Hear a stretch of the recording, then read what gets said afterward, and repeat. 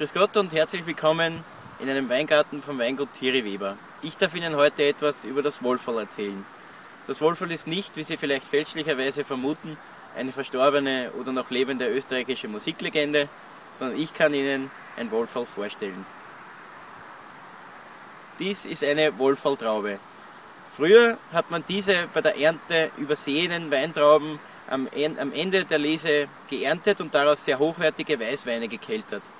Wir haben diese Tradition wieder aufleben lassen und haben unsere Weingärten durchforstet. Wir haben Wolferl gesucht und auch gefunden. Das Wolferl ist ein gemischter Satz aus den Trauben Grüner Wittliner, Riesling, Sauvignon Blanc, ein wenig gelber Muscatella und Chardonnay. Für mich ist das Wolferl immer die Essenz des Jahrgangs, weil diese Trauben von ganz besonderer Reife sind und die verschiedenen Traubensorten mit ihren eigenständigen Charakteristika einfach den Jahrgang am besten widerspiegeln. Ich wünsche Ihnen noch viel Vergnügen mit dem Wolferl und danke herzlich für Ihre Aufmerksamkeit.